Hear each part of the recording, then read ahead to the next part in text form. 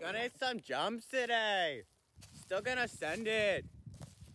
It's gonna be a good day. The ATV still runs, so round two. Hey, another beer.